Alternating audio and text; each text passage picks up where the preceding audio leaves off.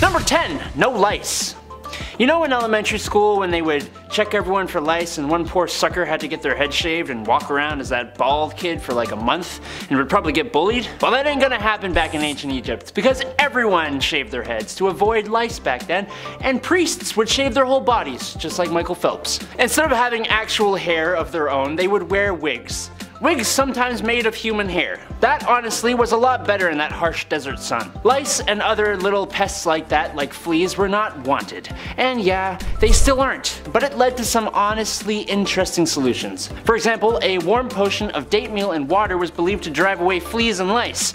They would use cat's fat to keep away mice, I made a rhyme, and one that probably actually did something was when they used a solution of natron, water, and salt in their humble abodes to eliminate and repel fleas. Number 9. Ancient sunscreen.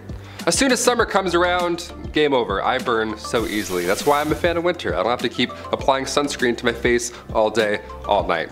And feel like I'm about to faint, obviously.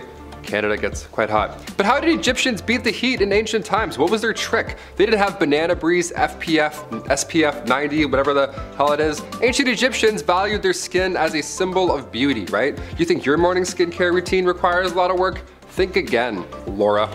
Their routine was written on tomb walls and scrolls. Rice bran containing UV absorbing gamma oryzanol was used to block the sun off. Yeah, it was that hard. Jasmine as well helped repair sun damage, and ancient Greeks as well. They used olive oil as sunscreen as well as ancient Egyptians, which as far as UV protection goes, it did absolutely nothing. You'd be burnt and extremely dehydrated, but also you'd have some nice tan lines and you wouldn't be as pale as me, so it wasn't all bad. Number 8. The finest of cosmetics. The cosmetics of ancient Egypt were not just for looking good, they were for feeling good too. Like on the inside. Now, as such, those professionals who made the stuff took it pretty seriously. Not just because of a passion for the art, but also because they'd be judged pretty damn harshly if they did a bad job. If they sucked, it would mean having the whole neighborhood give you a bad reputation. And in the cosmetics business, just like show business, it's all about that reputation. It would also mean some harsh judgment from the big boys upstairs meaning the gods when you met the afterlife. So yeah, they wanted to do a good job. And to meet that end, they would try and use the finest of ingredients, as they should when people have to put this stuff on their skins and right next to their eyes and stuff. Number 7. Mouse skins. It honestly seems like we really can't get our eyebrows right. In the early 2000s they were plucked within an inch of their life. Today we have brow pencils, waxing, soap brows, which I really don't understand. Back in Elizabethan times, they were plucked entirely off of the face to make foreheads look bigger. And now there's this trend. Eventually, bountiful eyebrows came back into fashion, and for those women who weren't blessed with such brows, resorted to mouse traps. That's right, in order to get that luscious furry frame above their eyes, they would catch mice, skin them, and apply them to their eyes. Yay! In the 17th and 18th century, more specifically, women of nobility were known for shaving off their eyebrows entirely and stick on the mouse skin. It was better if the mice had really dark fur because the popular look of the time was pale skin and black eyebrows. Gee, I wonder where Snow White came from. But even more hilariously, they would place their brows higher than normal so they walked around looking surprised all the time. Imagine one of them receiving the worst news possible while simultaneously looking like they just won the lottery. Also, the glue wasn't very good, so they would fall off at leisure. Your mom died. oh no! Oh, like what the heck? Number 6. Horsehair dental floss. Yeehaw! Okay, despite how annoying dentists can be sometimes, flossing is vital when it comes to mouth cleanliness. But using horses' hairs to do so, that just sounds counterproductive, no? Early human remains were studied and it showed these grooves in between their teeth. So they would sharpen these little sticks on both sides or use horsehair to get those hard to reach places. Even back then, way in ancient times. If it wasn't horsehair, it was thin long twigs. Honestly, I'd rather use the twigs. At least that has like a scent of some sort. I don't know, like mint, minto green, something like that. Horse back? No. It really wasn't until 1815 until a New Orleans dentist named Levi Spear started to use silk thread to floss in between the teeth instead of hair. Thank you Levi, as fun as horsehair flossing sounds, I'm gonna stick to the spearmint. S spearmint, Levi Spear. Wait a minute. Number 5. Crocodile done the deed. Again, I'm saying this again. Who had the gall? Who had the damn damn audacity to look at a steaming pile of, of digested animal excrement and go, you know, that will work for Insert problem here. Once again, I put the question, how the heck did we survive? But nevertheless, we are here once again to bring to you yet another animal poop cure-all, and this time it was for contraception. Yes, in ancient Egypt, women would use crocodile dung as a contraceptive. Yay! Now, crocodiles were worshipped and sacred to the ancient Egyptians, so that could be one reason why they thought it would help. They would mix it with sour milk, sour milk, to make it a pasty kind of poop dough with a hope that would create an acidic barrier to sperm. Kind of like a dungy version of a diaphragm or a cap used today, but covered in spermicide. We had to start somewhere, but I honestly can't think of a better way to kill the mood. Hold on, honey. Gotta shove some poop out there. Number four, sulfur for freckles. Ooh, this next one gets me hot. This next one is, hits too close to home. Sorry, frecklers. I love my freckles. Every summer they pop harder and harder better, faster, and stronger. I love them. But back in the day, there were some pretty insane methods to get rid of them. I know, get rid of them. How could you, right? How dare you? Having freckles in ancient Roman days meant you couldn't participate in your favorite magical rituals. yeah, sorry Balthazar, I'll catch the next meeting I guess. I'm gonna go wash up. Having freckles meant you were impure or polluted. And in ancient Greece, having a beauty mark or a thousand on your face or cheek meant a bright future was in store for you. So depends really where I am, but kind of, I'm like, huh? Medieval Europe, moles or freckles meant that you were for sure a witch. Great. That one they're kind of, they're, they're onto something a little bit. They got witchy vibes. Ancient China, if you had a red or black mole, that was actually a good sign.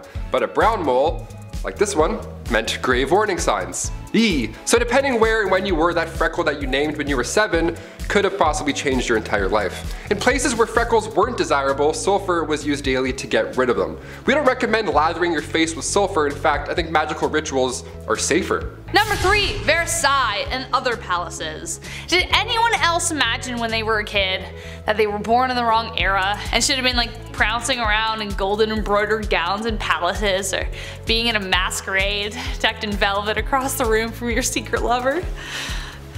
Some more than most. Except there is a lot missing from that fantasy, specifically the smell. You'd think a place like Versailles with like halls of mirrors and lots of gold everywhere would be like the cleanest place to live in the 18th century, but the reality was stomach churning. Remember that red velvet dress? Well that hadn't been washed in god knows how long and you were stuffed in a room with people wearing the same thing and everywhere was a toilet.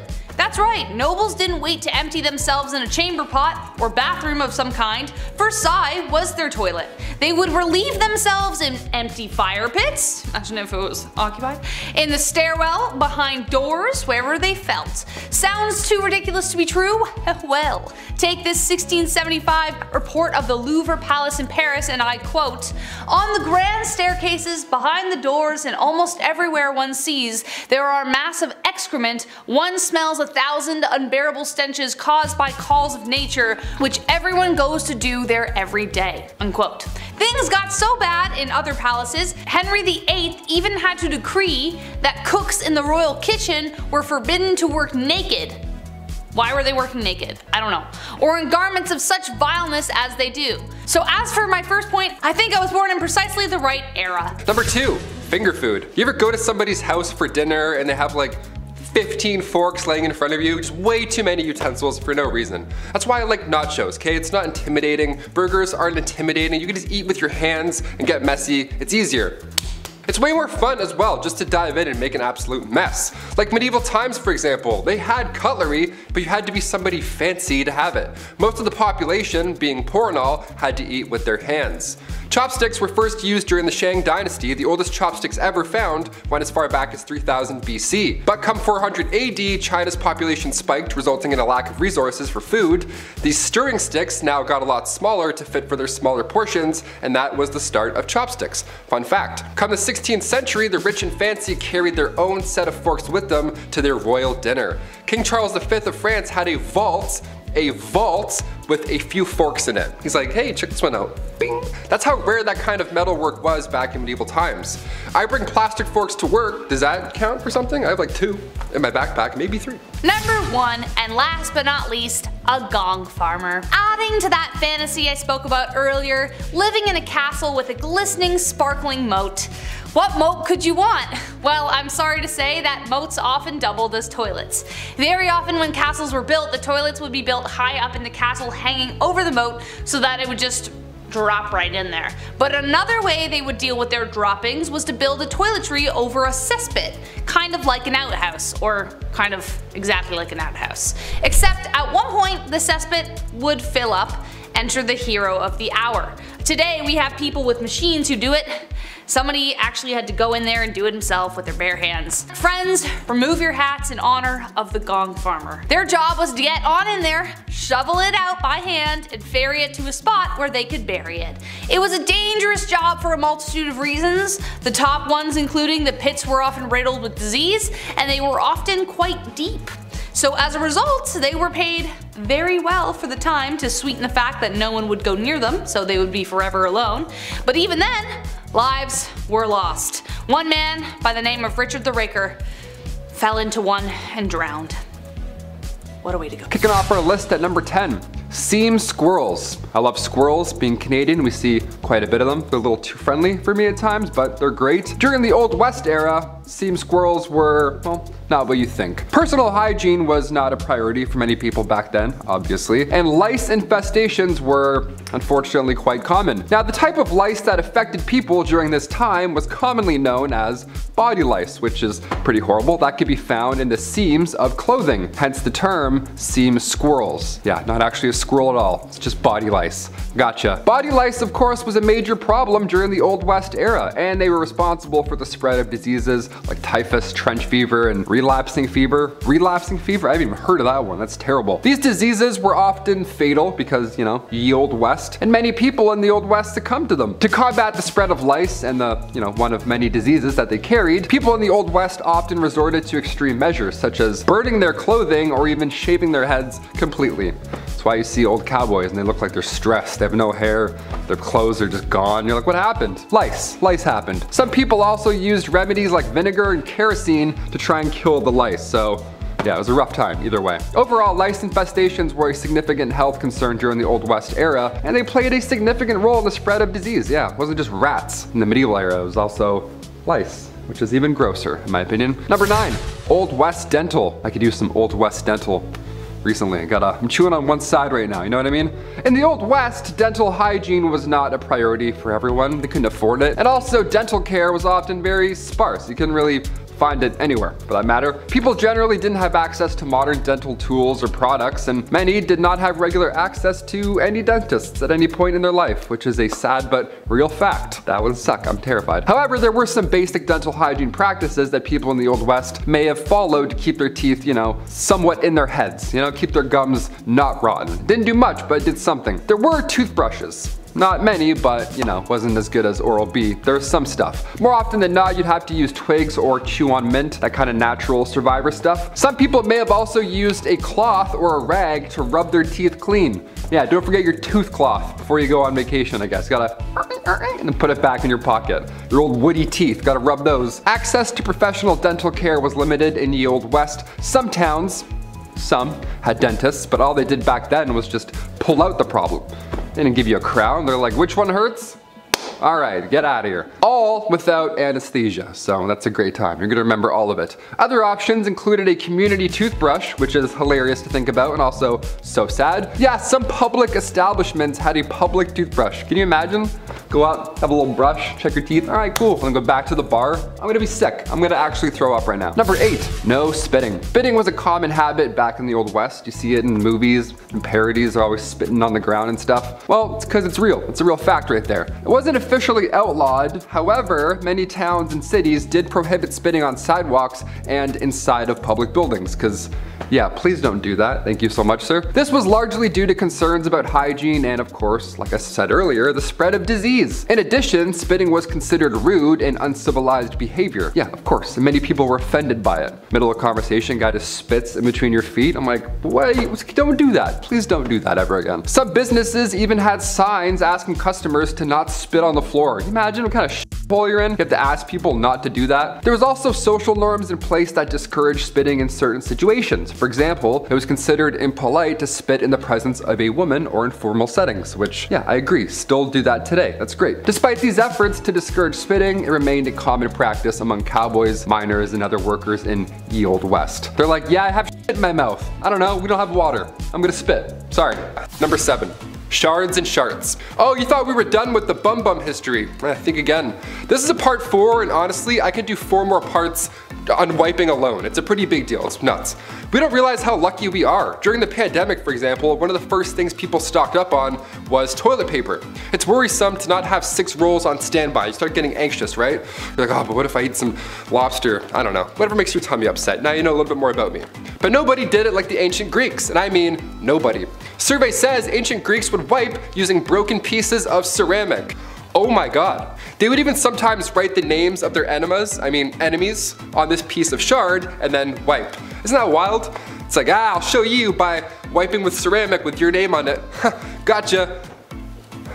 Yes, this obviously led to major health problems, and according to the British medical journals, three pieces was often enough. Three is still a good number today. That's a comfortable fold, but ceramic, no, there's no way. No way. It was the better alternative, believe it or not. The other was actually sharp seashells. Number six, deodorant. Before the Old Spice guy was even born, what did people do to smell good? What? Deodorant was first introduced to the public back in the late 1800s. It was called Mum. It was a cream that used zinc oxide and it was stored in metal cold containers. Nothing like speed stick at all, not even close to being discreet. You can't put this stuff on the bus. Since now, they're gonna, what's that guy doing with that jar of goop? Ancient Egyptians used ostrich eggs when it came to ancient deodorant. They made perfumes and were amongst the first to try any type of deodorant. So thank you. Thank you. Hence the ostrich egg factor. Mixing a little fat, tamarisk, tortoise shells, nuts, and then bam, you're ready for the day. Another method was a little more yummy than ostrich eggs and nuts. Egyptians would also use porridge balls. Flavored porridge rolled up and then safely secured in your little apple pitter fritters right there. Just don't wave at anybody or else you'll, mm, there you go. Number five, Shampoo. When my hair grew longer over the pandemic, I had a huge wake up call. I had no idea what I was doing. I only used the guy's shampoo, you know, like the classic 4-in-1 shampoos. That wasn't working anymore. I needed some curl cream. I needed shampoo and conditioner, separate things. It takes time to figure out what works with your flow, but the ancient Romans, they didn't have head and shoulders. They would just dip their hair in cold water at a public bathhouse, also very public, and then rub and scrape oils away. LimeWire was also used to wash your hair back then, but that was horrible. It's just as useful as lime wire. Sometimes Europeans wouldn't even use water at all. They would just rub their head with bran before bed and then brush it out with a comb in the morning. Yeah, bran. I used dog shampoo once by accident. Honestly guys, I'm not gonna lie. There's something they're not telling us. It was too nice. Number four, Aqua Tofana. Not to be confused with Aquafina, which is also pretty horrible, Aquatofina was hot in the 17th century.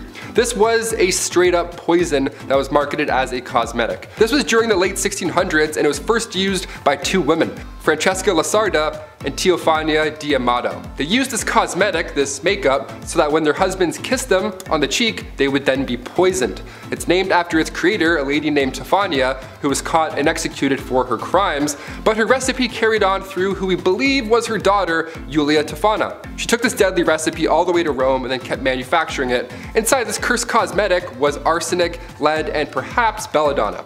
It was colorless, tasteless, and one of the deadliest. This cosmetic took over 600 lives. Brutal. Number three, baldness. So what if you're going bald, but you don't have a massive 16th century stupid wig, then what do you do? Well, back in those days, if your hair started to thin out or you were losing patches, you would need a mix of chicken droppings. Yeah, chicken mixed with potassium.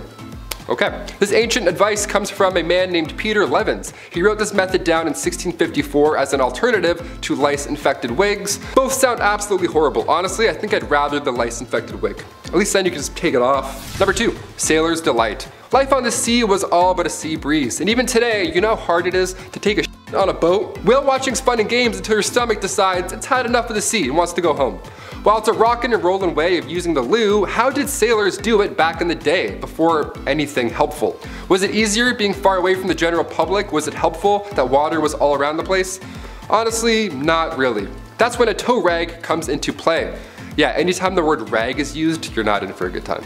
Near the head of the ship where the toilet was, this little indent or whatever the toilet, it wasn't a toilet, it was a hole, there was a single rope with a rag, and when it wasn't being used, or shared rather, the rag would be tossed over the side of the ship so it would just dangle in the water and wash away all day, which is fine, I think. I'm not really sure. The sharing is caring thing, I'm not on board for, pun intended. Do you fold, do you scrunch, or do you use barnacle rope? How do you do it, guys? Comment down below. Number one, Q-tips. I love Q-tips a lot. I do two at the same time, and then I flip them, and then I do it again. Yeah, I get them twice. The first one for cleanliness, the second one because it's for me, because I feel like it. Sue me. My eyes roll right back. It's the best. If COVID tests were done through your ear, I'd be getting tested twice a day just for fun. Q-tips, most of us know by now, weren't exactly made for cleaning your ears. As much as we only use them for that, Q-tips were invented in 1923 by a man named Leo Gerstenzang after his wife stuck cotton balls to the end of a toothpick. Sounds a lot like she invented Q-tips, but sure, we'll roll with it. From 1923 to 1926, they were named Baby Gays, and then Q-tip Baby Gays, and then finally just Q-tips. Baby Ray's is like, mm, too close. Sweet Baby Ray's is like way too close. Our, our sauce is not even close to that product. Back in those days, Q-tips were actually dipped in boric acid first before being shipped out. They were intended to sterilize wounds. After this, there was even Q soaps, Q oils, Q creams, Q cards, whatever, you name it. Anything that made you a QT. So what's this rumor that they're not supposed to be used in your ears? Like, sorry, what? What's that all about? Is that real? Well, in 2008, otologist Dennis Fitzgerald brought forward concerns about Q-tips and how they're really pushing earwax further into your ear canal, leading to possible infections. When Chesebrough Ponds bought the company in 1962, they added the warning on the box, a warning we all gladly will still ignore, like I said at the beginning. Mm. I take one look at my earbuds and I'm like, yeah, I need four Q-tips right away. I need Q-tips yesterday. Number 10, spitting. Two words, chewing tobacco. I am not the only one I know it who made this face while watching western movies and some grimy guy just like spits into a bucket like some like brownie green slime. In saloons in the old wild west, spitting became so common that it had to be outlawed at one point. Men would spit tobacco onto the floor with spittoons and cuspidors lined the bar. Most of the time, they missed. The job of cleaning them often fell to junior shop assistants, which was a worse job than cleaning a fast food chain bathroom. They essentially became little cesspools of disease, and people got really worried eventually because no duh, they're spitting all their stuff everywhere. Following the devastating flu epidemic of 1918, plus the constant fear of TB, anti-spitting campaigns were undertaken and it was outlawed. Number 9. Shine bright like a diamond. If somebody told you that your face was glowing back in the late 30s, that would be the highest of all compliments. You'd be like, oh my god, thank you. I am not a vampire, but thank you. Tho-Radia was a beauty product company that made radioactive creams, radioactive powders, radioactive lipsticks, anything to get your glam on, all for the price of radioactive products. It didn't end well. This is insane to me. They took pride in using thorium and radium lead to tone facial tissues and remove wrinkles and all that jazz. And the product was doing so well that it circulated in Italy, Portugal, Romania, Egypt, Belgium, and France. Worldwide. It wasn't until 1937 until the French government caught on to these little pesky side effects, some would call. So the radium would literally make your skin glow a bit. That was the pull. That was like the, no way, really? Debit. And alongside the glow, also you were having insane side effects that would ruin the rest of your life. Maybe that's Paul Rudd's secret. If his jaw starts to fall off, we'll know something's up perhaps. Number 8. The humors. Nope, this is not a joke.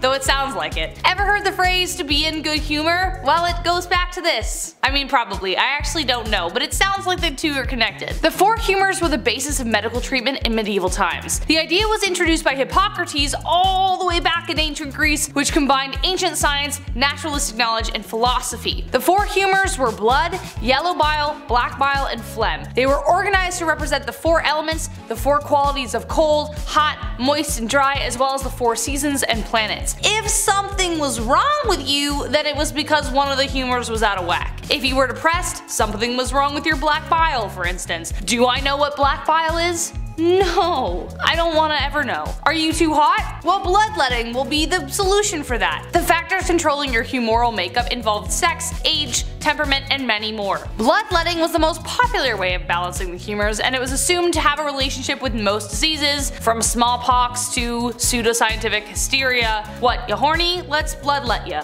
Number 7. One night with Venus, two years with Mercury. It wasn't too long after humans discovered toe curling that as much fun as that may be, there can be some unfortunate side effects. Knowing somebody in the biblical sense can transmit not so fun diseases if you catch my drift like syphilis.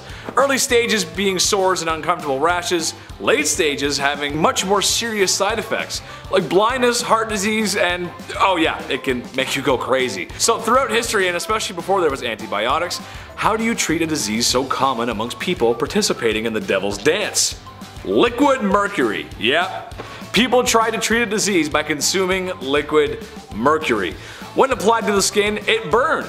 Therefore, if it hurts, it works. It was noted that syphilis would go away after mercury treatments, but this could have just been a stage of the bedroom rodeo disease as its symptoms disappear right before things get bad. This is also assuming that people taking mercury aren't getting sick of mercury poisoning in the first place. This practice continued way longer than it should have as it wasn't until discoveries made in the 1900s that a better option for treating the brothel related illness. Honestly, with this kind of logic, anything's possible. Sky's the limit when you're crazy. Number 6. The Great Stink of 1858. It's one thing living through a pandemic, but at least we're not living through something called the Great Stink. Yeah, the Great Stink of 1858. Who was responsible for this? What did you eat? What happened? Well, this was an event in central London and it lasted for a few months. In the summertime too, which is just great for great stinks. It was so hot and dry that the Thames dried up, leaving just sewage, just all that gross you can imagine. The smell was so bad, Parliament had to close for an entire day. I wanna know who the first guy was to be like, you know what? Nah, I'm going home. This sucks. This sucks. Good call. In order to continue work, Parliament had to soak the curtains on the riverside of the building in lime chloride just so they wouldn't be sick. They just soak it in chloride to be like, that's better, it's better, we think. They were on the verge of moving their entire operation to Oxford, that's how bad it was. Members of the committee were quitting their jobs. While this sounds all bad, hundreds of tons of limes were being discharged into sewers to help the smell. So if you had a stuffy nose in July 1858, you could have made 1500 pounds a week just messing around with limes. You missed your shot. Number 5. The Human Fly Trap. This is honestly so five-head. A brilliant play might be one of the best moves I've ever seen. Have you ever been to a picnic with a nice sandwich, some fresh crisp potato chips, and an ice cold lemonade as you sit on a warm blanket, enjoying the view just over yonder?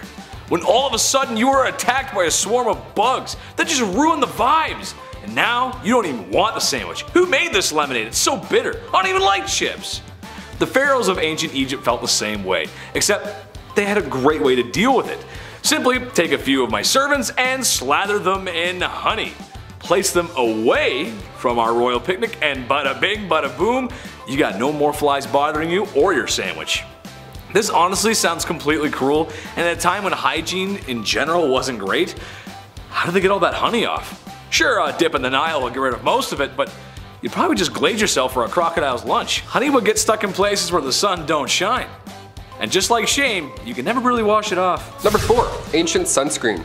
As soon as summer comes around, game over honey. I burn so easily. I have freckles for two days, then the rest is just red and un just bad, all bad. That's why I'm a fan of winter. I don't have to keep applying sunscreen to my face all day and feel like I'm about to faint. But how did Egyptians beat the heat in ancient times? They didn't have Banana Breeze SPF 35. What did they do? Well, ancient Egyptians valued their skin as a symbol of beauty. You think your morning skincare routine requires a lot of work? Yeah, buckle up. Their routine was written on a tomb wall and also scrolls. They used rice bran containing UV absorbing gamma oryzanol and that was used to block the sun off. Jasmine as well helped repair sun damage. Just some chick named Jasmine, she was like, don't look at it, just stop. Ancient Greeks used olive oil as sunscreen, which as far as UV protection goes, did absolutely next to nothing. You'd be burnt and dehydrated, but you know what? Tan line, so. Number 3. Red Dead Bandage. America 1864. There's a polite disagreement between North and South whether the South should be still using YouTube's least favorite S word as a business practice. The verdict? It wasn't very nice. That aside, the southern states fought hard for a very stupid reason. Idiots. Such a hard fight in the fact that it was taking a serious toll on everyone specifically the southern economy and civilians who got caught in the raw end of the deal. The war was a huge cost of life and money for both sides, but the South just didn't have the same resources the North did. So, after years of fighting, things weren't looking too good. An example of this was the South washing and reusing bandages as supplies were low and casualties were high. This might be hard to stomach, but that's just what happened. Nurses washed blood off of blood-soaked rags and bandages to reuse simply because there was no supply. I don't have to be a doctor to tell you that reusing bandages in a time before antibiotics is a bad idea. It might be better to just not have a bandage in that case at all as the chance for infection would significantly increase. Dutch, you got any fresh band-aids over there? I scraped my knee fighting with Micah. Hurts real bad. Maybe get John to kiss my boo-boo better. Number two, ancient socks. Somebody got me socks as a gift over the holidays and let me tell you, Still the best thing you can get. Socks and lip balm, you can do anything you want. Game over. Socks in ancient Greece were not the right and left neon green athletic socks that you have today. No, not even close. Socks came around in the 8th century BC, made fresh from, you guessed it, animal hairs. Yeah, it was gross. This actually led to Romans tying animal skins around their feet and then tying them up. Cut to the 2nd century AD in ancient Rome, the sock game got real. Romans began using fabrics instead of animal skins and it was softer, lighter, and all that jazz. And then later on in the 5th century, socks were worn only by the most holy. Socks were associated with the church, they were considered a symbol of purity. Yeah, you heard it. Socks would go all the way up to your leg. A little different than the New Balance ones we have now that just go up to your ankle that, you know, fall off when you're halfway to work and then make you really upset. I have one right now, I'm gonna go figure it out. Number one, heavy stomach. We as humans need food and water to live. Water honestly being number one. I mean, I could eat a little bit more, but water's more important. But it is what it is sometimes. People in the past had no choice but to build water pipes out of lead. Sure, maybe it wasn't common knowledge that the lead was toxic, but a lot of people did know. So that's why all the cities that sparked up during the Industrial Revolution were built with such. Lead as a material did make sense as it was cheap and easy to use, so that simply outweighed the health risk of lead poisoning. Lead was a common material in other products as well. But when your drinking water is supposed to be fresh, maybe it's time to spend a little more so we don't end up, you know, spending a lot more on healthcare for lead poisoning. After years of being underground, the pipes corrode and leak toxins into the water stream. It's why in older cities a lot of time and money is spent today replacing old pipe infrastructure. To me it's a classic case of, eh, let somebody else deal with it, I'm sure it's fine. Well, I'm off to go work in a completely safe asbestos factory, I'm sure there's nothing wrong or bad in there. Number 10. Suck on a clove. Bad oral hygiene was not permitted back in ancient China. Bad breath, even less so. For example, if you were going to be seeing the emperor, it was required that you suck on a clove beforehand to make your breath all nice and fresh, just in case. I think I'm going to use that as an insult. I'm not going to say it again because I feel like, no. Yes, I like this. Other than breath fresheners, the ancient Chinese used primitive toothbrushes made of willow branches that were rinsed clean and then chewed to make all hairy and stuff. And then dipped in some of this tooth cleaning powder made of a bunch of different ingredients like pork teeth, saponin, ginger, cooked Rehmannia glutinosa, mulu, eucalypta, lotus leaf, green salt, and other things I don't want to struggle to pronounce. Okay, before that though, they would also use salty warm water as a mouthwash, which would make their teeth more firm and help clean them. I actually do this uh, like every once in a while after I brush my teeth too. It's actually really good for your gums. These ancient Chinese knew what was up. Number 9. Bathing. In ancient China, the etiquette of a gentleman demanded that he wash his hands five times a day, take a bath every fifth day, and wash his hair every third day. Bathing every day was a bit of a superstitious no-no, started by northern Chinese societies that would actively avoid cold water or bathing in the winter to avoid getting a cold altogether. And not bathing at all was considered barbaric, like those pesky Mongols who hated bathing and who were hated by the Chinese.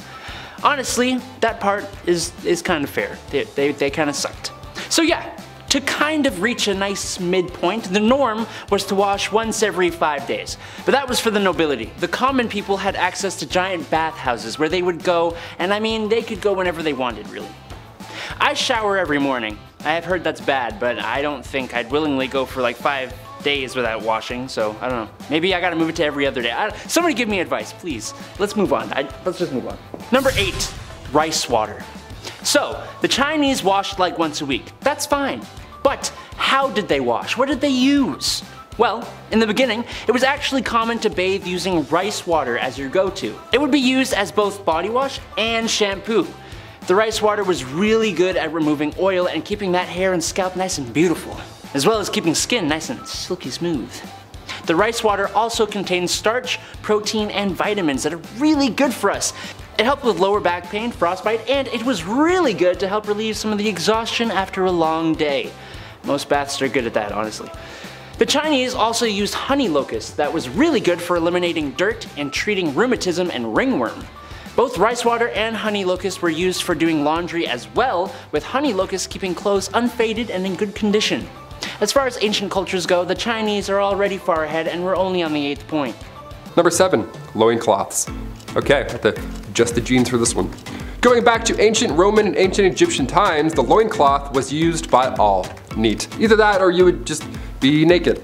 So, you know, if you're a nudist, great. Hit the thumbs up if you're a nudist. I don't know. I don't know why I said that. We're gonna keep going. I found this neat step-by-step -step on the internet how to make your own loincloth. And it's a bit more complicated than throwing on sweatshorts and calling it a day. We don't have a lot of archaeological evidence today because these linens barely made it through a decade, let alone all this time. But ancient Romans would use leather also to make underwear, which is just imagining that, I'm like, ha, it's hot. Hot goat skin wrapped around your waist in the sun. We love it.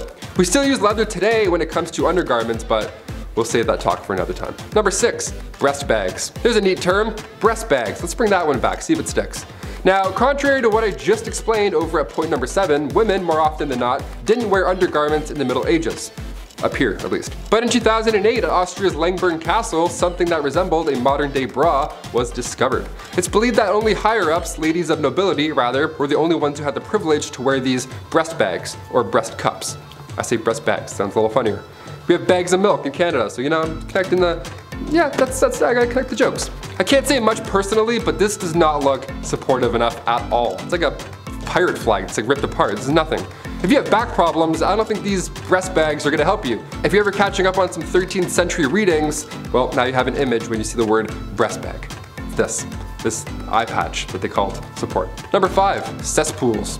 Ooh, gross transition. If you're gonna make a massive castle, you need to know where to build certain rooms. Like say over a cesspool for an example, that might be important. Plug your nose. Cesspools were often placed under floors, which makes sense because you know, you, you poop and then gravity and everything goes down. But you need to make sure that those floors are supportive enough. Because in 1183, the Emperor of the Holy Roman Empire had a dinner in the Palace of Erfurt, but the floor in the main hall broke open, resulting in a bunch of dinner guests falling through the floor, with a few of them even drowning in that cesspool. What a horrible way to go. Then again, in 1326 England, Richard the Raker had just sat down for dinner, guy hasn't even started his meal yet, and then again, the floor broke and he fell through and drowned.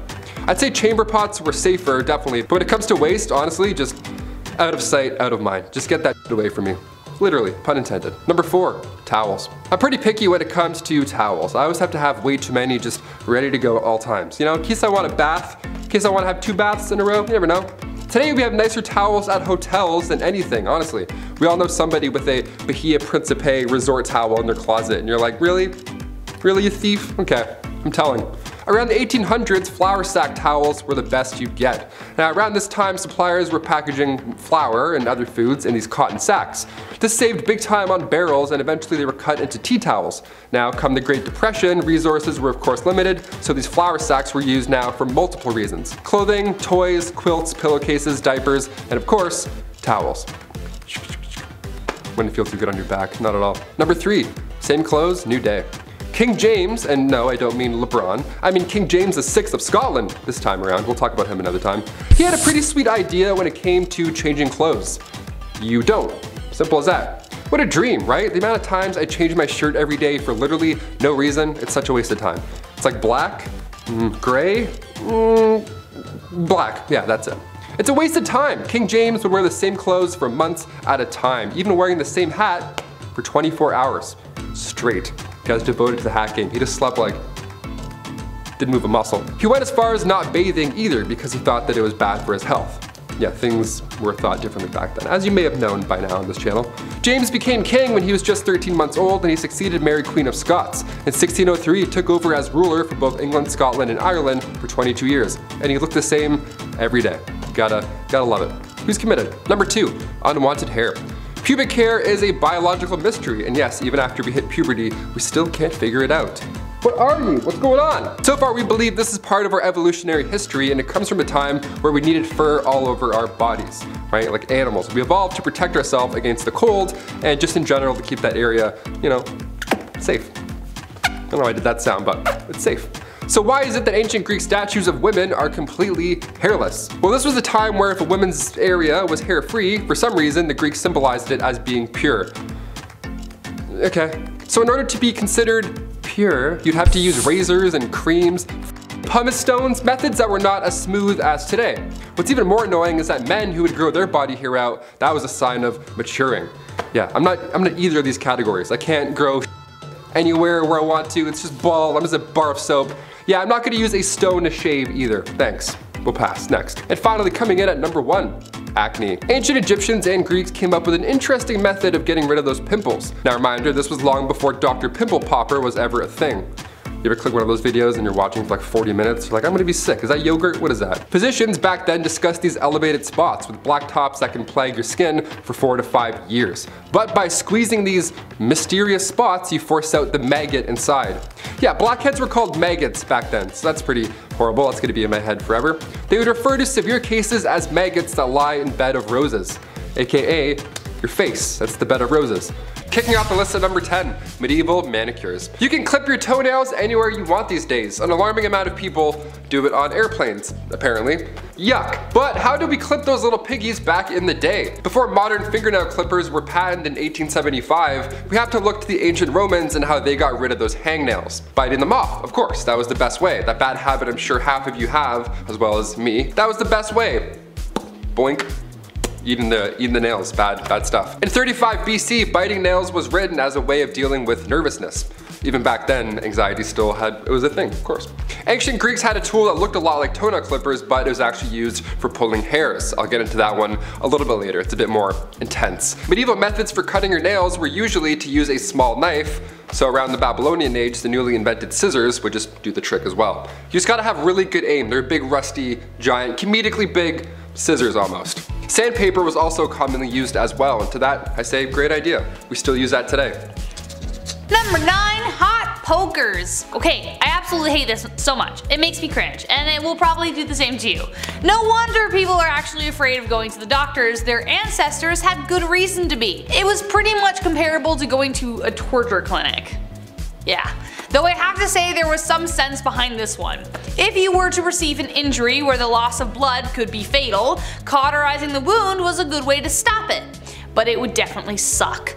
They would heat up a hot poker and apply it directly to the wound without the luxury of any painkillers. Obviously, this would be extremely painful. Would I rather bleed out? Or have this done. I honestly don't know. However, it would probably result in infection if not treated properly, especially considering that they didn't wash their damn hands as we found out in the previous video. But they wouldn't just use hot pokers for blood wounds, they would also use them to burn off hemorrhoids and STDs and I don't know, hopes and dreams. It was a bad time. Number 8. Clamshell hair removal. Whew, here we go. Nowadays you can laser off any unwanted hair. Waxing as well, sounds like an absolute nightmare, but compared to how it used to be done, it's still our best method today. Looking back to around 100,000 years ago, long before Gillette had their 9 blade razors with cooling gels and all that good we had to use seashells. Literal seashells. And when I say seashells, I don't mean they would glide across the skin and you know, Sweeney Todd themselves. No, they would use two shells and then put them together as tweezers and pluck the hairs out one by one. Seashells. Can you hear that? It's the sound of our ancestors plucking their eyebrows. They're still screaming. Sharpened clamshells were used later in the 19th century, and we realized if they're flat enough, we can swipe them off. So they were sharpening shells. Eventually they got to the gliding technique. Saves time, but still it was horrible. And if that sounds bad, 30,000 years ago, we used flint blades to shave. Yeah, just remember, when you nick yourself, it can always be better. Number seven, Victorian Laundry Day. You spilled some mustard on your shirt today, that stain will be gone by time you get home. We're pretty advanced when it comes to quick stain removal today, but like the Romans, which I'll talk about later, it wasn't always smooth sailing. Take the 18th century, for example, when Laundry Day came around, it was an event. It was like an ultimate chore. They had to take daylight in consideration and plan their washing days, as in more than one. The Victorian era was exhausting. They would soak their clothes overnight, then the next day would be spent soaping them up, boiling them, rinsing, soaping again, rinsing again, maybe soap one more in case, you know, there's too much pee-pee, and then rinsed another time, wrung out, mangled, laid out to dry, hence the sunlight timing, starched and then slowly ironed. Cut to today, we have to encourage adults not to eat Tide Pods or drink bleach. We'll get there, maybe, I don't know.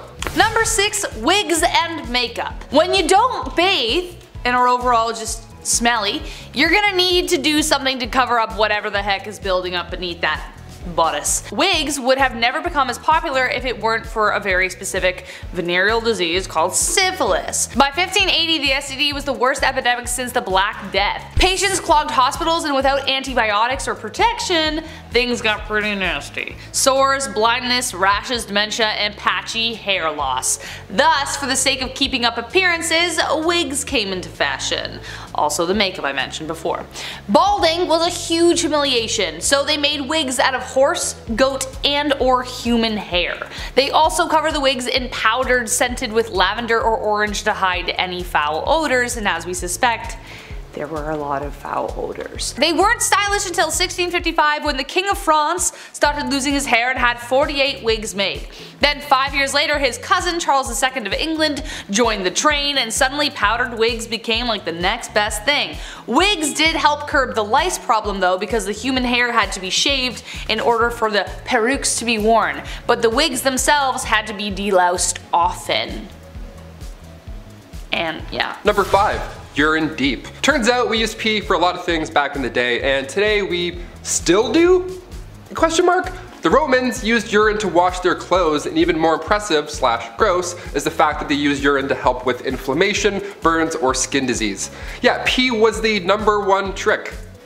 Get it? Number one? I, okay, we'll move on. Best way to whiten that smile was not a crest white strip, but rather a facial mask dipped, dipped, dipped in the mellow yellow. Just pee because it's so gross. We mentioned on this channel before that Gladiator Sweat was once bottled and then sold. Well, their pee as well was sold as this beauty product. Clean out those pores with a drop of Igor. Mmm. Get it while it's hot, folks. This is extremely gross, obviously, but it does make sense. The ammonia in urine kicks stains away for good, that's why they would wash their clothes in the same way.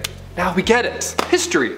Gross. Uh, number four, rush plants. Today we use chic shag carpets that, you know, really tie the room together sips white Russian. But back in the olden times they used something called the rush plant to pad their floors. But the thing was this layer of dense plant material was a breeding ground for nits, ticks, and other creepy crawlies. It was it was a really unsanitary situation but like what else were you supposed to do? However this kind of flooring made them vulnerable to disease and infection. The reason being as these floors would not be renewed for sometimes 20 years the bottom layer, left undisturbed, would accumulate a lot of really gross stuff like uh, animal droppings, feces, the piece of grizzle you dropped that one time, fish scraps, whatever. So um, it was just not, it was like basically a swamp down there. Number three, royal bum. The groom of the stool is a little bit different than the groom of a wedding. It was perhaps one of the worst jobs to have, but, but, pun intended, it's one of the most important roles. The groom of the king's close stool was a position created during King Henry VIII's reign. Their job was to wipe the king's butt. And if that doesn't sound horrible enough, this poor lad would carry the king's stool with him, like on his back like a Jansport, and then monitor the king's meal times, and they would plan their day around when they thought the king would take a shit. I would be so anxious if a guy wearing a box toilet was just hanging out near me. He's like, hey, you feeling alright, boss? You good? You feeling full? That was a lot of bread earlier. You sure? Alright, take five. Just, I don't know. Just take a look. I don't know. I'll let you be. You must be thinking, what poor soul got stuck with this job? Well, this job was an honor, my friend. Sons of noblemen were awarded this role. You would get pretty close to the king, I mean, obviously, but as time went on, these grooms became secretaries to that king.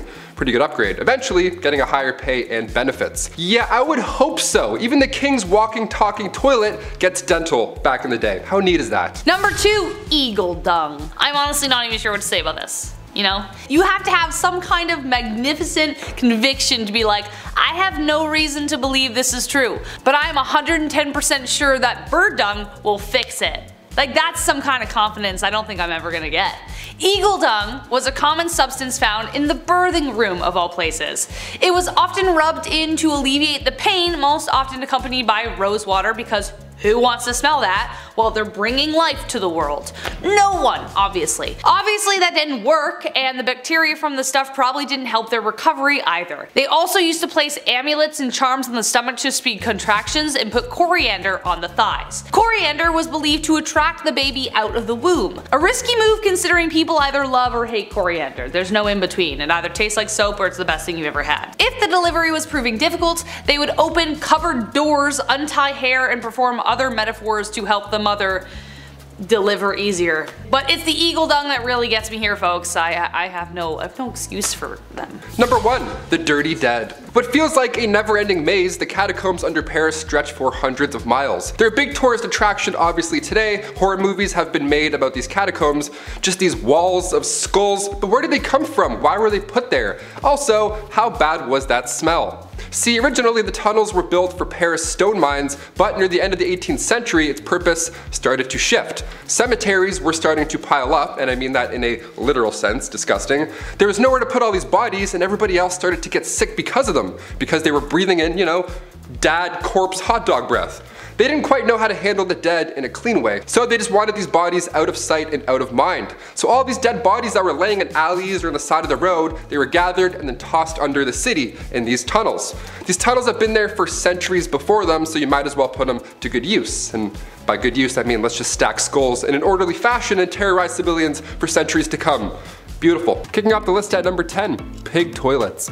Yeah, we'll start off with a nasty one. Look, we're on the part 6 now. We're talking about some ancient hygiene practices. It's gonna get gross, it just has to at this point. I've talked about Roman toilets, horsehair dental floss, so now we gotta dive into some yucky stuff. Pig toilets began around 200 BC in China, and these pig toilets were actually pretty common. You would just go to the washroom over top of a pig pen. It's pretty straightforward. It's pretty awful, but also it's all they had. It was pretty awful, but I would say it's worse for the pigs. Definitely worse for the pigs. The pigs would eat the waste because it was mixed into their food. They couldn't tell the difference. Ugh, horrible. This was one of the few options to manage waste, especially in areas where plumbing wasn't possible. I talked about pigs going to court in a recent Bumblebee video. If I was a pig, I would be pressing charges left, right, and center after this. That's so disgusting. We're at number 10 and I want to puke. Nice, buckle up. Number 9, water closets. This one sounds fun. A closet full of water. What a blast, pun intended. Back in the 1800s, all over Europe, our modern day version of the bathroom came to life thankfully. I'm, I'm very glad this happened. If it didn't happen, it'd be It'd be a little bit different nowadays. It takes two things to have a water closet. A home big enough for a room purely devoted to waste, which is amazing. And of course, running water, that definitely helps. Sir John Harrington, godson to Queen Elizabeth I, was determined to invent what we now know as the basic toilet. Back in 1596, he created this idea, and people actually made fun of this guy for spending so much time working on a useless device. Yeah, the more we know. Cut to 200 years later, another inventor by the name of Alexander Cummings reworked the water closet, added an S-trap, the little valve between the top and the bottom parts of the bowl, and now we're on the right track. Then a couple years later, in 1777, Samuel Prosser applied for a plunger closet patent and got it. A year later after that, Joseph Bramah enters the toilet game, adds a valve on the bottom, an old school ball cock. So we're getting there, slowly over time. Different inventors are bringing their new ideas in, all so that we can go and take a Brodmann was a sailor at the time, so his water closet was often used on ships of that era. Today we have toilets that flush automatically. Once you get up or move around, the sensors think you're done, and then they blast away. If you stand and wipe, good game. Thing's gonna be making noise all day long. Number 8 Bald face. In another video on things too woke for this era, I talked about how it was once cool to have no hair on your face at all. I can't grow any facial hair, so this is this reaches out to me. This is good. I like this. I like punching out this fact. Well, Queen Elizabeth I was the first to bring this idea into Western culture. She influenced women to completely pluck their eyebrows, and on top of that, they would also shave their hairline back as far as they could, so their faces would be as large and as big and bright as possible. Just right there, like the big moon, just hmm. It was common for women to soak bandages in a mix of ammonia, vinegar, walnut oil, all to hopefully, hopefully suppress the hair growth on their forehead. Facial hair was removed, but body hair, that was left untouched. The Catholic Church also influenced the look. Growing your hair out was a feminine display until you went out in public and had long hair. Then it was immodest. Because, of course. Number seven, communal towels. Ugh, this one's so rough. It's exactly what you think it is. It was a ride. Today we have paper towels that you pump like 13 times just to get a little sheet. Or sometimes, if you're lucky, that Dyson air drying thing where you just dip your hands in for like 13 seconds and then it's done. You're like, oh, the future is here. That's always fun, that one. Back in the old west, communal towels were often used in public restrooms and other shared spaces. Yeah, just one towel for all. Just a dap off everything that's wet or damp back then. Ew. These towels were usually made of cloth and hung on a rack for multiple people to use just in public, like it's your bathroom. While this may seem unhygienic by our modern standards now, it was a common practice at the time. So yeah, I don't know, we can laugh a bit, I guess. People were generally less concerned about the spread of germs and diseases back then, and communal towels were convenient and they were a cost-effective option for public spaces. However, with the rise of awarenesses about hygiene and germs and all that nasty stuff, the use of these towels eventually fell out of favor in the earliest 20th century. Thank God. Imagine dapping off your lips after eating some wings with a communal towel. Some cowboy just, you know, huh, and then he, huh, and then, huh, huh, and then you come in and wipe your, that's so gross. Number six, hair care? Yeah, I added a question mark there because, I don't know, not much TLC going on on top back then. Throughout history, people have used a variety of natural ingredients for hair care. Nowadays, guys have it too easy. It's like Axe 5 in 1. It's like hair, armpits, legs, feet, all like, no way you can do all of that. Popular methods in the Old West were whiskey and castor oil. Yep, all on your big exposed head, right in the sun, there you go. Pantene Pro V wasn't a thing then, so folks were rubbing their heads clean with castor oil. That's a nightmare. Whiskey was believed to help cleanse the scalp and often promote hair growth, while the castor oil, that option, that was thought to moisturize and condition the hair. So that'd be a fun two-in-one back then. That's great, put that in the stocking. These ingredients were readily available and and most importantly, they were affordable, making them popular, but also, realistically, it was their only option. Guy's doing whiskey, he's like, yeah, let's clean it up, clean up top. It's so hot. It's like, ugh, really burns. Number five, medical shows. Today, medical shows, they're fascinating. Dr. Pimple Popper, I'll watch that all day while I eat. I don't even care. I'm disgusting like that. Dude's getting mashed potatoes squeezed out of their back, so I'm like, ah, let's go. I love it. I'm slapping that thumbs up. It's my shit. Back in the Wild West, the 1860s, the 1890s, you know, they had what's called medicinal showmen. These are, what an absolute joke, what a con. These guys would go town to town selling elixirs and tonics, everything one needs to live a happy and comfortable Western life, but they were full of lies. None of this is true. These professional medicinal showmen would have pawns run ahead and plant themselves in the audience before these random demonstrations of amazing medical elixirs, right? These shows, bunch of bullshit. They would call up random audience members, that guy that ran ahead, and then use one of these elixirs and magically treat their ailment on the spot in front of the public, right? Almost as if it was a magic show. One of the most successful of these elixirs was the elixir made from John Healy and Charles Bigelow. It was a mixture of herbs, roots, and animal fat, said to treat any and all illness, but in reality, it was just an extremely strong laxative, so yeah, if you're gonna take it, make sure you're close to home. Yeah. Number four, bad bartenders. When we think of old saloons, old west saloons with the swinging doors and stuff, a few catchphrases and a cowboy with some whiskey, all that good stuff, the bartender back then would pour a drink, the cowboy would take the bottle instead. So illegal. Sir, that's theft. Please put that back. Back in the wild, wild western days, grabbing a drink at the bar wasn't like that at all. It wasn't like anything you see in the movies. It sucked. Bartenders, they had no regulations to follow behind that dirty bar. But not only was it very high proof, but some bevies like tarantula juice was just, it would just poison you. It was literal poison. If its name didn't tip you off, it was literally made with poisonous ingredients because that was, that's how cowboys did it back then. But they're hairs. I don't know. Tarantula juice was made from strychnine. If you drink it, you're gonna feel like there's tarantulas crawling all over your skin. That was their pitch back then. They're like, eh, happy hour, come get tarantula juice. I'm like, awesome, thank you so much. How do I not tip? Which button do I press to not give you money, you freak? Number three, grow it out. In the Old West era of the United States, men often grew their hair long as a practical choice rather than a cool fashion statement. You know what I mean? All those bandits with their long hair, they had to. Living in the rugged and often isolated terrain of the West, men had to perform many physically demanding tasks like hunting, ranching, mining, pouring whiskey drinks and tarantula juice. Long hair would help protect their scalp and neck from the sun and wind and all that good stuff. But it's important to note that haircuts were not always easily accessible back then. And many men back then could not afford them or did not have access to a barber. It's like, I can't cut it. It's like, where? We don't have anything. We don't have dental. What do we do? As a result, growing their hair long became a practical and functional choice for many men back in the Old West rather than, you know, style. They were going for looks back then. They weren't doing man buns, doing the cowboy thing. They're like, no, I have bugs. I don't want you to see my bugs. I'm gonna grow it, thanks. Number two,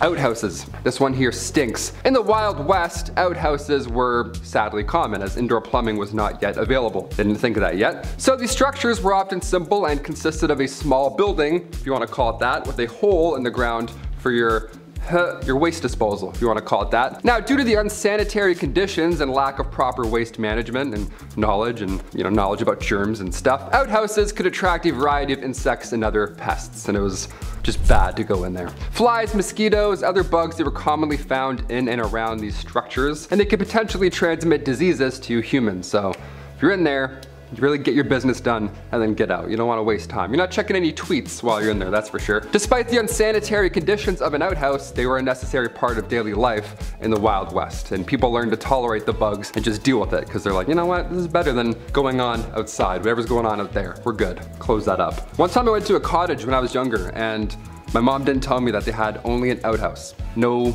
running water the entire week. I was like, awesome, let's turn around I guess. I'm not doing that.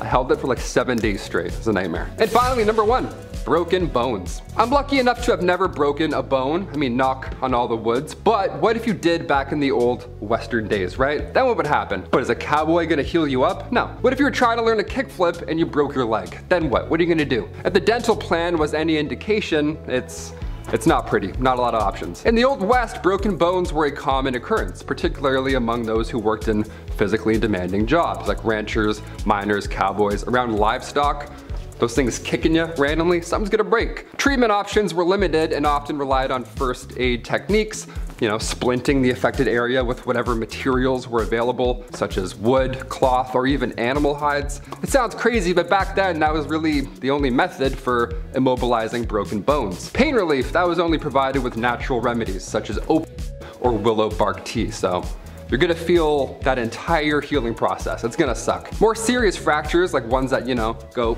through the skin, those require the attention of a doctor or a surgeon. However, you know, those medical professionals back then were not always available in the remote areas of the Wild West. Number 10, not bathing. Let's start off strong. So obviously hindsight is 2020. We know a lot of, more about personal hygiene now than we did, you know, then and as well in like middle school because high school locker rooms, what the heck. Without the knowledge of germs and disease, not bathing seemed like the logical next step for a lot of people, even though it made you smelly as all heck. When the pilgrims arrived in Native America on the Mayflower, the indigenous tribes often referred to their horrid smell. An account from a member of the Patuxet Nation even tried to convince them to start washing themselves. They were like, come on guys, enough. They washed their hands and faces, but they rarely washed their whole bodies. Though they believed cleanliness was next to godliness, that didn't necessarily mean they needed water to do it. They believed that should they submerge themselves, they risk disease. This could be because they dumped their daily duties into the water, so you know that's that's likely. So instead they took dry baths where they wiped themselves down with a dry cloth. But this that it, didn't really help much. Number nine, bedpans. It's always the worst when you get tucked in at night, you start to fall asleep, you're starting to doze off, and then you realize you need to pee. It's the worst. You gotta get up, walk down that long, scary hallway, blind yourself for two minutes, and then get cozy all over again. Well, in the Middle Ages, you would just toss your full bedpan out the window. Easy peasy, heads up. Oh, oops. it's so gross. Or sometimes, if you were feeling a little lazy, this was also common, you would use the bedpan and then just slide it back underneath your bed and go right back to sleep. If anybody ever gives you for having cups in your room, show them this video, show them this history. You're fine, you're not that bad.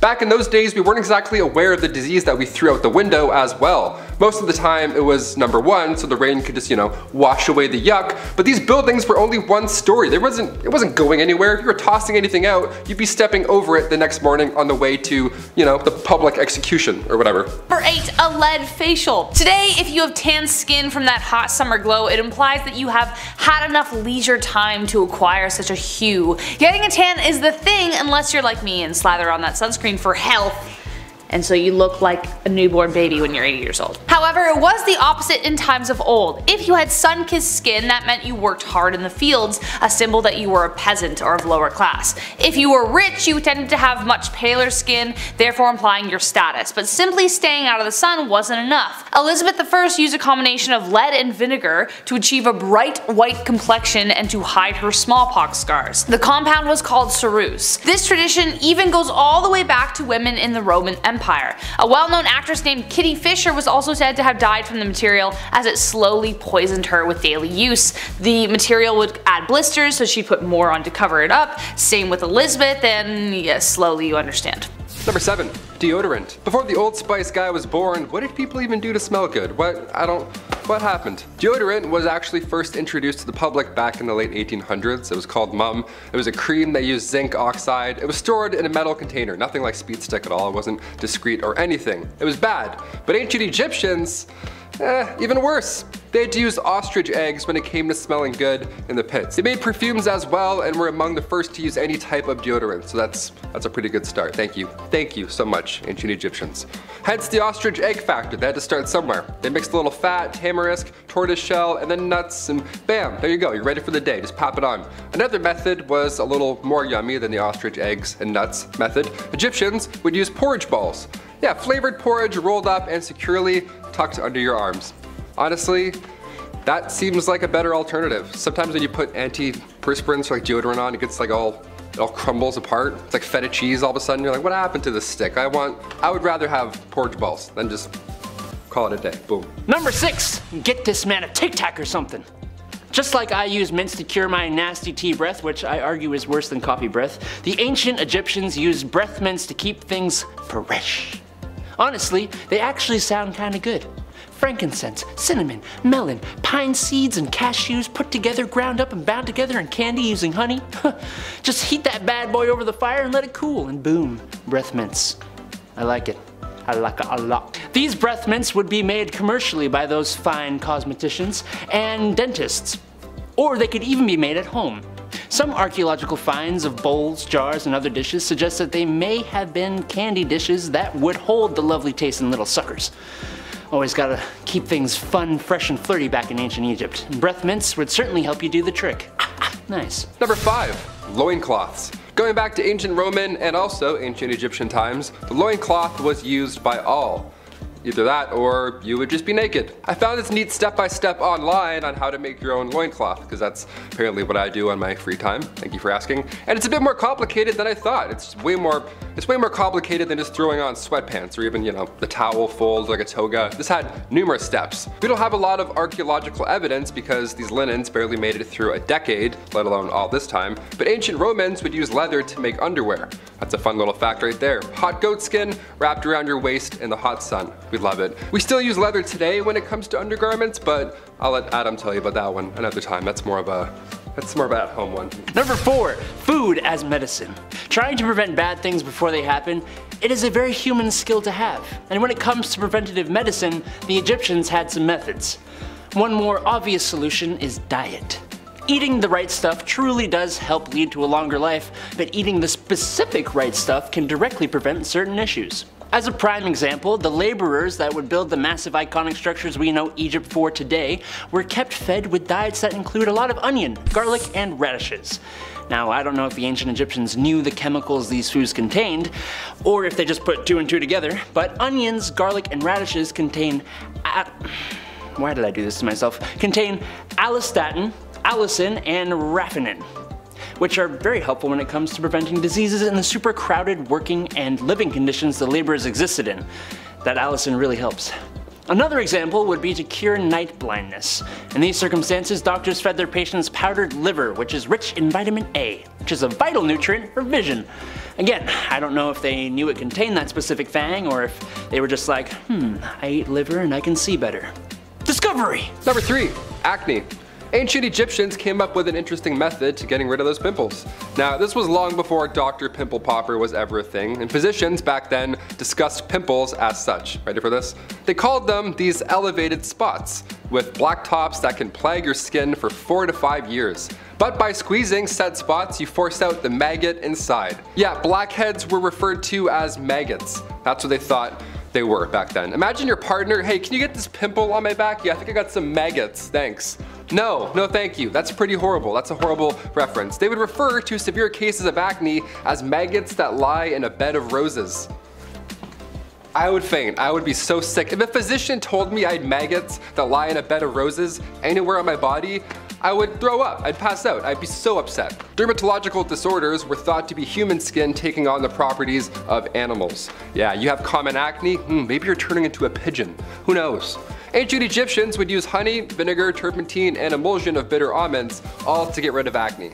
Yeah, sounds like a horrible alternative. I would much rather just have acne. Maggots? Dude, I'm done with this channel. I'm out of here. That's so gross. Number two, eye makeup. Almost everybody and their mums knows that the Egyptians wore that crazy awesome eye makeup. But what you might not know is that it didn't just serve the purpose of making you look absolutely stunning. No, a lot of these eye makeups were lead based. Now, that sounds pretty bad, I can't lie. It does. And it likely was for some, but it was possible that it boosted nitric oxide by up to 240% in cultured human skin cells. I don't know what cultured human skin cells means, but that's the quote. If you know, let me know down below. What the heck does nitric oxide do? Well, that I do know. It helps to boost up your immune system to fight diseases, which, guess what? That's pretty important, especially in the marshy areas around the Nile where eye infections are actually pretty darn common. What's cool is that research suggests the Egyptians actually knew that and specifically synthesized the makeup for this purpose. Huh, neat. Finally, number one, mummification. Back in the day, mummification was common, and even today we're finding more mummies. Like literally last month, we just unraveled six more. It's crazy. We're uncovering more ancient history, which is great, but how exactly was this process done? We're talking about back maggots and stuff. What, what did they think about this? How did this even begin uh, to be a thing? Well, it wasn't cheap. For starters, being mummified was reserved for the rich. It's a pretty brutal process as well. What you would do is you would put a hook, or well, they would put a hook in your nose after you'd passed away, and then they would pull out your brain and all that just squishy stuff, just out all through this thing right here. And then they would cut the left side of the stomach open, remove all those goods, all the organs, boom, see ya, gone. And while those are drying, you would put your lungs and liver in jars. And then you would put the heart back in the body. And then you would wash the insides out with wine and spices, all that stuff, turpentine, turpentines, all the timantines, just all in there, washing it out. Then you'd cover the body in salt for 70 days. That's a long time. But around day 40, you would stuff it with sand. Now come day 70, finally, that's when you wrap them in the mummy bandages. Then the sarcophagus awaits forever, really. And there's just jars of organs also stored in your burial chamber. Now it's we don't do it. It's not as fun anymore. We don't put our organs in jars. We don't stuff anyone with sand. We should. You know what? We should bring back mummies. Let's just do it. I think it's time. Yeah. Kicking off the list at number 10. Wiper no wiping. On part 3 of the series, we of course brought up the worst job in royal history. The groom of the stool. Wiping was a royalty. We didn't have the fluffy bear family telling us to hashtag enjoy the go where they used an incredible amount, just a wasteful amount of toilet paper. Those bears, so wasteful. We had to improvise back then and use leaves. And by we, I mean medieval peasants, not us. We discussed Romans just pooping through cold cement benches, but what did they use to wipe after the fact?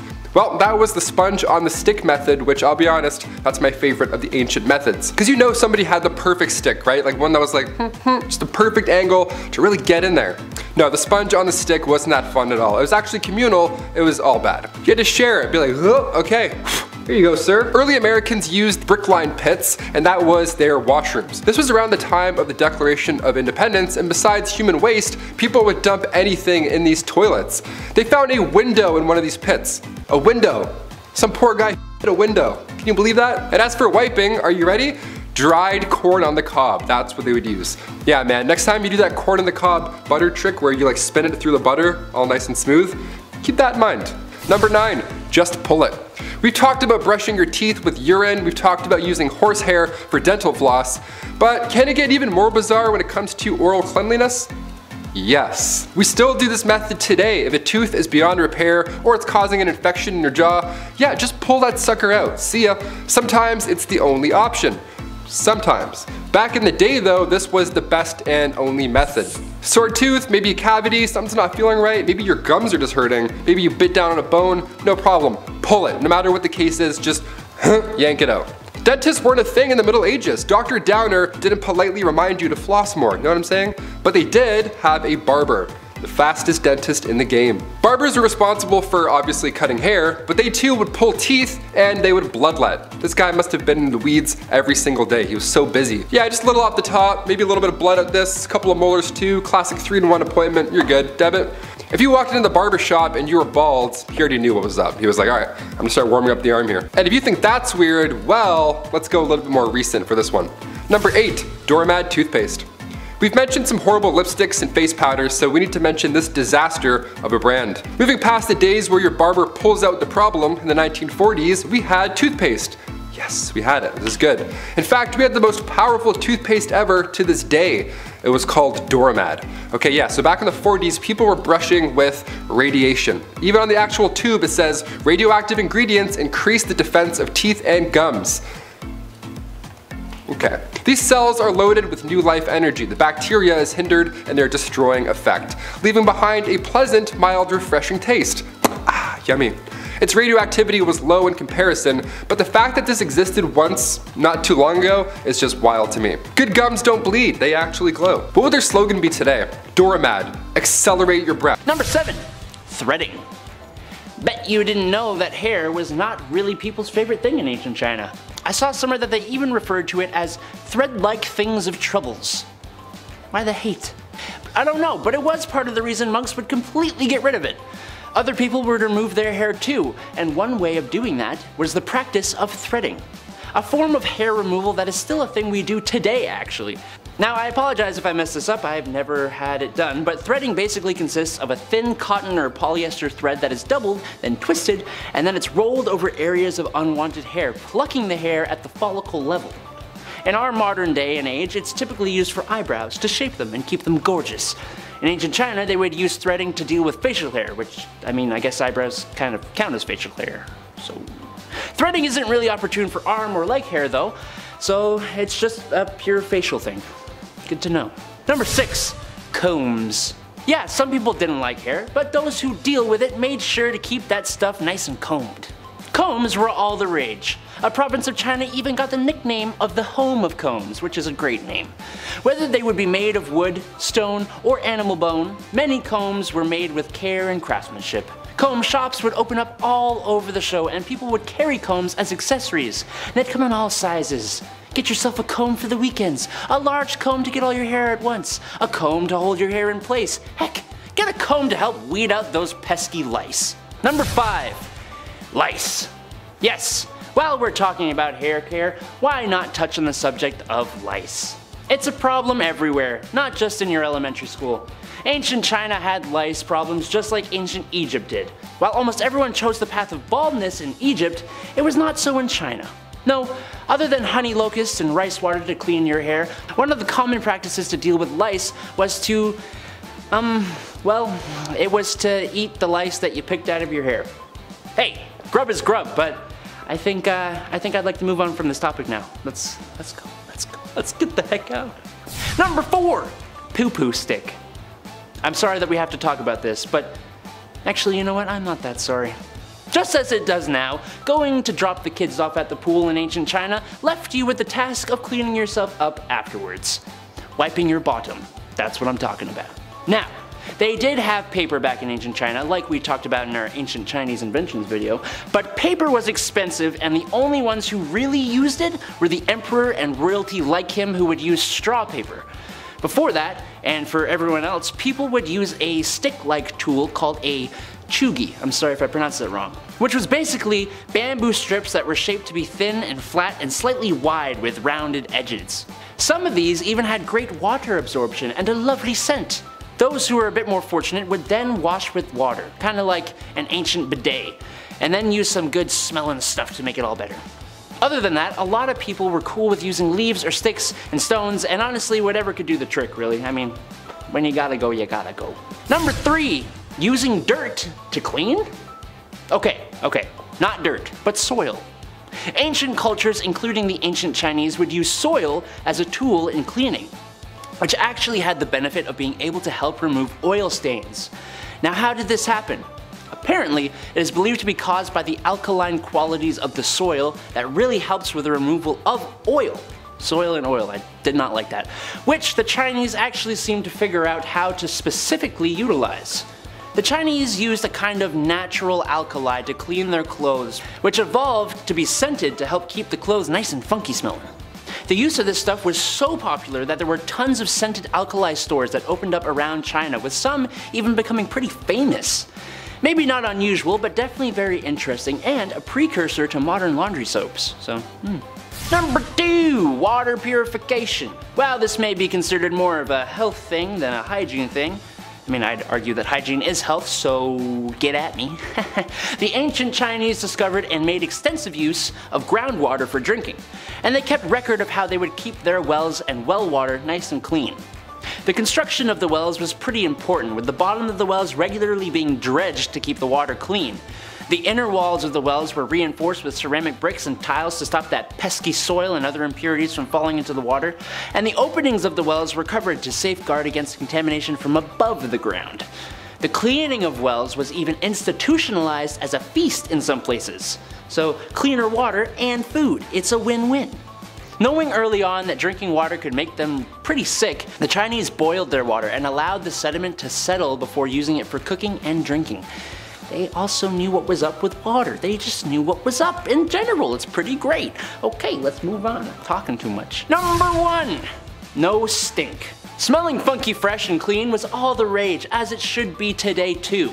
I ain't trying to be on the subway with a nose full of body odor, just as I wouldn't wish to submit anyone else to that. To be fair, not everyone knows they stanky and some people don't get a choice, but back in ancient China, those who were wealthy enough would spice up their weekly baths with roots, flowers, peppers, ginger, and all that yummy smelling goodness to basically create a lovely smelling cleansing soup to plop themselves into. Women would also carry around aromatic pouches that would just keep a nice smell around them at all times. Those who are not as wealthy would have to find other means to keep things fresh though. One that I'm not too sure would actually help smell-wise was applying their own pee-pee to their pits once a year on New Year's. What's up? Kicking off the list at number 10, hot topics. Over in Finland, they're changing the game. The sauna over there is considered a national institution. It's a large part of both Finnish and Estonian cultures. These saunas are commonly found surrounding Finland's lakes, corporate headquarters, and, oh yeah, of course, the Parliament House. Saturday in Finland is traditional sauna day. It's not Saturday for the boys, it's just Saturday and we're gonna, we're gonna breathe in each other's mouths for a bit. I can't even fit into a bathtub. I look like an octopus trying to escape a jar. It's not relaxing. It's not a good Saturday at all. I want to move to Finland. When government leaders can't agree on an issue, they take it to the sauna. How amazing does that sound? In the middle of passing a bill, dudes will just pause and then go hit the sauna. We need this over here. Finns describe the sauna as a secret weapon behind their diplomatic advances. Director of the Finnish Employers Confederation described the ritual saying that it's easier to discuss problems openly. It's like when we're doing a presentation in class, they always say to imagine everybody naked. Well, this was just that scenario played out in real life. Take away the briefcase and tie, you're just a naked dude sitting on a bench talking about inflation. Kind of an odd picture when you think of it. Number 9. The Outhouse. One thing I am glad I don't have to deal with anymore is outhouses. Not that I ever did, it's just something I don't want to do. I called the chief again last night and uh, he said it wasn't it again. Outhouses have been around for a long time. Technically just a hole in the ground where the business is done, it wasn't until later a small wood shack was built around said hole, and then it became an outhouse. Because the design of the outhouse is quite simple, there is a few design flaws that really just don't make any sense. Okay, yeah, it had to be built away from the house, as it is a pit full of refuse that exit a human being, but it's also built away from your house, so if you gotta go bad, I mean, you gotta go bad, you might not make it. This also is not so fun if you live in a place where it's cold. and you have to dress just to take a leak. But really what is the craziest thing is that after a certain time, that hole is going to fill up with an unholy godliness I wouldn't wish on my worst enemy. And now you gotta move it somewhere else. I know they wouldn't fill up that fast, but after a few years living in the same place, there'd be a few holes everywhere, and that's, that's just not good decoration, is it? Not to mention, if you were living in the time of the expanding West, an unseen rattlesnake or scorpion could make the potty time your last. I'll just stay indoors, thanks. Number 8. There's not a Visine for that. Does anybody else sneeze when they look at the sun, or is that just me? Do I have issues? I have a handful of allergies, and one of them apparently is a star. That's neat. My eyes are literally always dry. I think I forget to blink. I'm not really sure what's going on. But today, there's a Visine, luckily, for everything. Eye drops are common, but written in the oldest book of medicine, the Ebers Papyrus, chock full of ancient Egyptian medical recipes, it contained old optical treatment. Even in Egyptian artwork, you can find ancient cataract treatments. British archaeologist Austin Henry Layard found these clay tablets from ancient Babylonia around 625 BC, and treatment for dry eyes was a little different than today. Today all you have to do is and you're good. Back then, you had to get chemicals from plants and then mix them with prayers. Good game, good luck. One ancient tablet described the treatment of the time saying, if a man's eyes are affected with dryness, he shall rub an onion and then drink a beer and then apply oil to his eyes. Just mix all that put it in your mouth, and then thou shalt disembowel a yellow frog mixed in its gall and curd and applied to its eyes. I don't even know what the that means. Like imagine getting that on a prescription, you're like, a yellow frog? What?